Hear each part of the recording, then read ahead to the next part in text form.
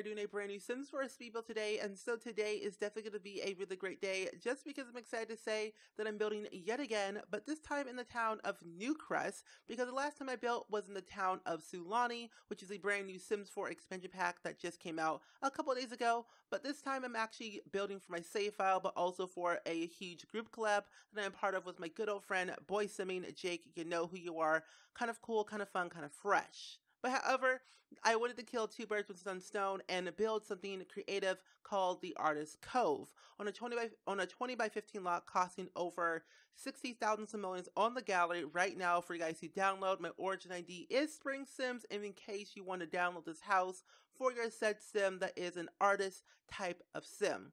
So when I was building this house, I wanted to do something different with like the roofing and the furnishing and see what I could really do because normally when it comes to like these small lots, I never really have like a set plan on what the roofing is going to look like because I tend I have a tendency to build the exact same suburban, you know, good old fashioned cottage home.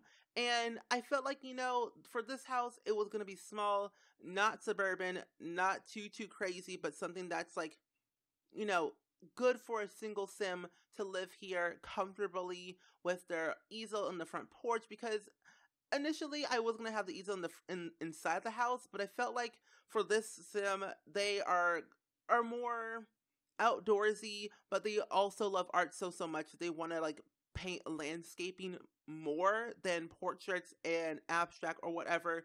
So they normally build landscape paintings and they take their easel wherever they go on travel to either to Sulani or, you know, Selva Dorada or Granite Falls or wherever they go, they take their easel with them and paint landscaping. And I for one love landscaping so so much when it comes like my builds, but I also love landscaping photography. And I'm not a very professional photographer. I just like dabble into it and like just do whatever I really want to do with it.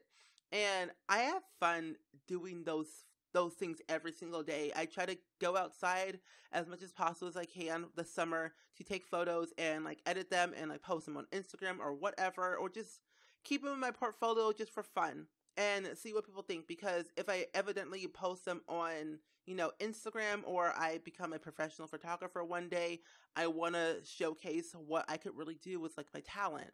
And for this sim, he is, you know, a single sim. He is bisexual and I felt like that's something for this save file, but also for this house, I wanted to have like, you know, a, a, a hint of diversity with like sexual orientation and you know gender and also like you know age range basically. So there's there's families that have multi-generational families that that last like five generations long. You have you know same sex same sex couples or you have like you know runaway teens or teen pregnancies or, or whatever. You have every single sim under the sun in this one save file and the cool thing about the save file in case you guys not know or just hopping on this video um, my save file is gonna be base game and its dedicated pack.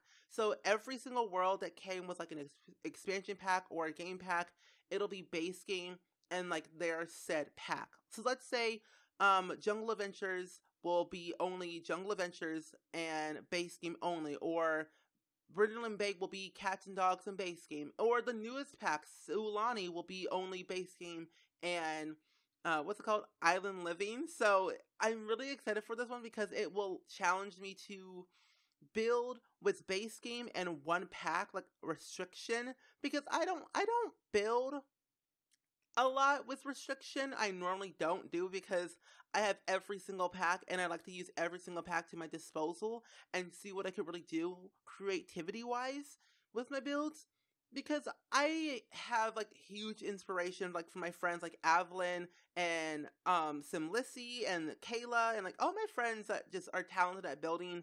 I take what they built in their like in their speed builds and their videos and whatever and I I kind of see what I could do in my own builds like you know what I mean I'm not copying them but I'm like just taking inspiration from them like Rosa, like, she is so talented at building. I'm like, how do you build those said things with your hands and your brain and your eyeballs and you put it in a game.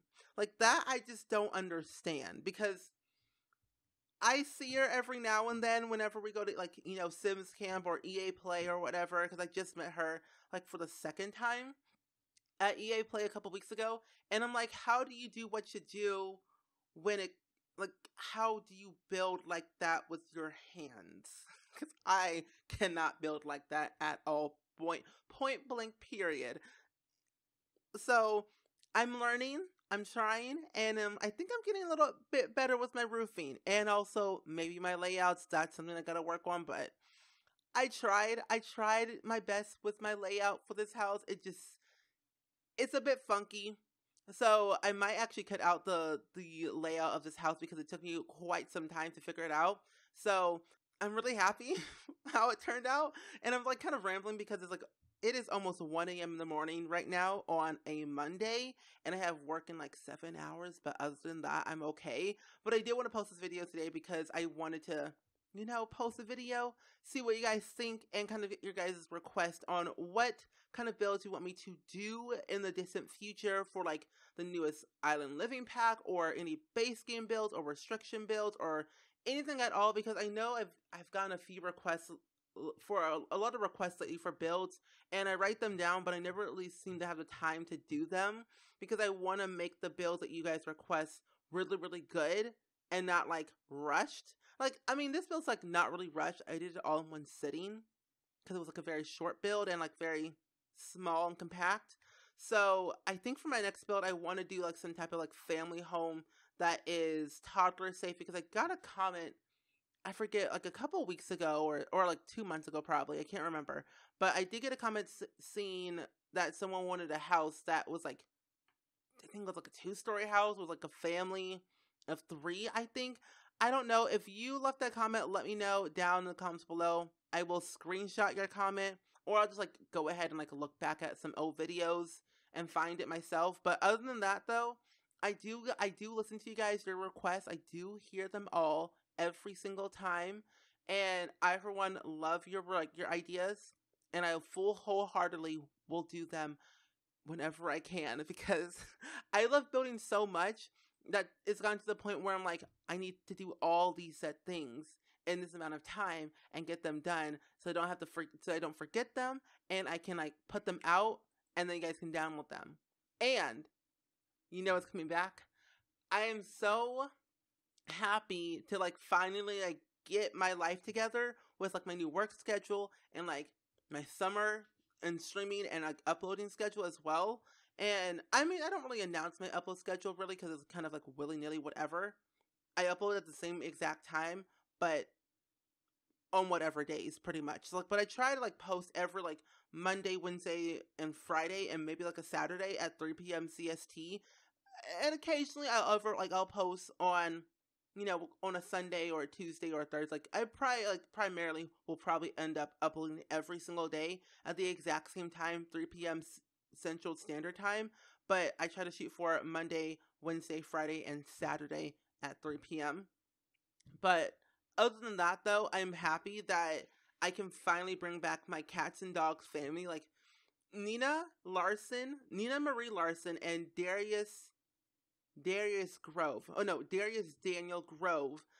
In case you guys don't know, I had a Cats and Dogs LP for the Cats and Dogs know, expansion pack, and I had a family called the Larsons, and it was a teenage pregnancy type of thing, but not really like a you know your typical teenage pregnancy story. It had a lot to do with more real life things, and it had a lot of like real life scenarios and such like that. And I'm happy to bring them back with Island Living and get them married and have so much fun with them. And I'm also bringing back, well, I'm also bringing back a build series and a new series, a new LP. So, like, technically, like three new series a build series, a new LP with the Larson family, and then a new dedicated island living LP. But I just have to feel like I have to film the first part, and the first part is actually a machinima of it. And in case you guys not know, you probably haven't heard about the sim named Karen that I've been talking about for literally ages, for a couple weeks now. Karen Prep One with wholeheartedly with so much drama in her life. It's gone to the point where I feel like she's actually real, but she really isn't. She's just a character that a person made out of random. It's an actual person that made a person named Karen. And I was like, I have some named Karen as well, who's divorced with an ex husband named Randy. And like all these different things are happening. So it all comes in the full circle. So a Karen LP is happening. And I'm really happy to like, you know, finally bring Karen to the surface of YouTube on the channel and like show how show how she lives, where she lives, how where did she live before, who are her parents, who are her relationships that she has that eh, had to deal with in the past, present, and maybe maybe distant future. Because Karen Prep One has a life that you think is normal, but it's not. Because her life is actually chaotic, and let's just say Karen's Karen's Karen's a person that you just do not want to get on her bad side because she have a she has a tendency of going on Facebook Live and literally exposing people for the fraud that they are. Like she literally she literally went on Facebook Live like a couple weeks ago talking about um Kathy and uh no actually no it was Tia. No.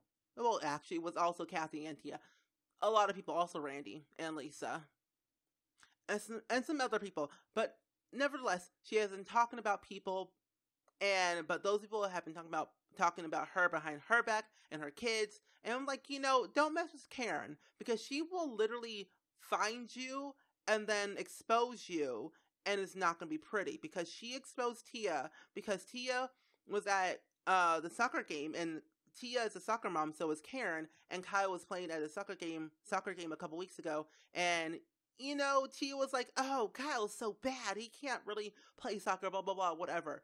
And Karen overheard from another parent, like I think his name was Jeffrey, whatever. Like Jeffrey heard Tia talking about that, and then Jeffrey told Karen what Tia said, and then Karen was like, "Oh, so Tia wants to talk about my son Kyle that he can't play soccer, knowing the fact that Tia's son, son-in-law, oh, actually no, no, Tia's son, who is also named Kyle, because I'm pretty sure that she was talking about her own son that cannot play soccer. So I don't know what Tia was talking about because Tia literally should not talk. Like she's trying to talk trash, but she should talk about her own trash her trashy husband and her trashy kids because literally Tia does not know what she's talking about at all. Anyway, I'm fine. I'm heated, but it's okay. I'm yelling. However, like I said, Karen has a lot going in her life and it's definitely okay. She has gotten everything that she wanted. She's living the best life that she can be and she has a house in the divorce. She has two kids. She has all the money and she's gonna probably end up going back to Sulani where she was born. She is a child of the ocean, a Sulani native basically, but moved away to pursue the suburban life. And she was like, I'm gonna move back to Sulani and like go back to my roots and show my kids where your heritage comes from. And yeah, so pretty much I'm just like actually just heated inspired, excited, and wholeheartedly just so pumped for new content and diving right into Island Living and see what it has to offer because I know a lot of people have been seeing saying and seeing a lot of glitches and saying that Island Living is like not a really good pack because the amount of like the amount of not gameplay that we have because I can I see it. I've played through it a little bit. Um I've seen the mermaids are not really like the best in a way. Like they don't have a lot of gameplay towards them. Like they're just there. Like I feel like the mermaids are just there. Like you become a mermaid, you eat the kelp, and that's it. Like what's next? Like you can't really do anything other than that. So I feel like with you know how with the Vampire Game Pack and Get Famous, how they had like a ranking system, I felt like if I would, I would, I thought, I actually thought that we would, we were going to get a ranking system for the mermaids where you could become a mermaid for the very first time once you age up into a teenager, and as you grow up, you start to develop powers and you know different skills and whims and like relationships and like different things that you could you normally couldn't do unless you like were at a certain level as a mermaid. So I felt like you know mermaids are lacking a lot. Like they're just there flapping their fins. They don't get too far. Legs legs are required for jumping and dancing, but they don't have legs because they have tails. However, like I said, mermaids are just there for the aesthetic. Like the whole aesthetic of Island Living is perfect. I love it. I love the world. I love how it looks without reshade. Very vibrant, very clear, crisp, and collect. But like I said, mermaids need more work. And also somehow we don't have an island for island living. Like we got we got a counter, but not an island. So that's kind of weird. But I heard that they're actually working on fixing those said issues, like giving us an island counter, also like some extra stuff as well, because there were some things that were missing. And I, for one, saw all of that because I have a glitch in my game where somehow my Sims go to like this this little bow thing in like the center of the ocean, and then somehow they're walking above water like they're Jesus. I'm like, who do you think you are? You cannot walk above water because that's not possible. But then again, it's a sim, so you can basically do whatever you want. But you know, they gain a fitness skill, so I'm like, I'm not really mad because sometimes my sims like to drown in the water when they swim out too far in the deep, deep ocean. I mean, hey, eh, the Sims, the possibilities are endless in the Sims. Like, your Sims could literally be flying up in the air like nobody's business, and you would not even care. And I'm okay with that. And then I saw on Twitter the Simsiply actually tweeted saying that the ladders that we got with the Island Living Pack is cool and all, but somehow we didn't get a regular ladder that we could use on the indoors, like to make a, like a nice loft for a beach house or, or a tiny home or whatever. And I was like, wait a minute.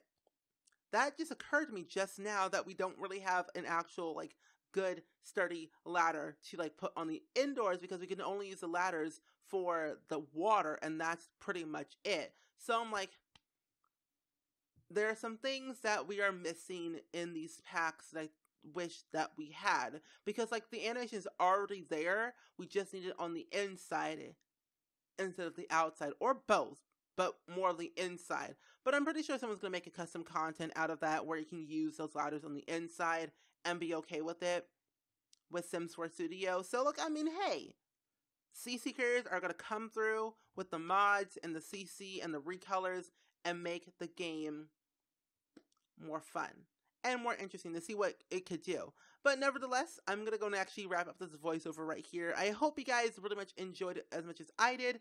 Please go ahead and let me know down in the comments below what are your thoughts about this house, this group collab, my rambling about Tia, my heated moment that I just had a couple of minutes ago, but we won't talk about that right now. We'll talk about in a later video, probably like, you know, next couple of days when I build Greg's house Because I got some tea to spill about him. You know? But um um yeah, so I hope you guys enjoyed it. Let me know down in the comments below as always, and I will see you guys all in the very next video. Bye!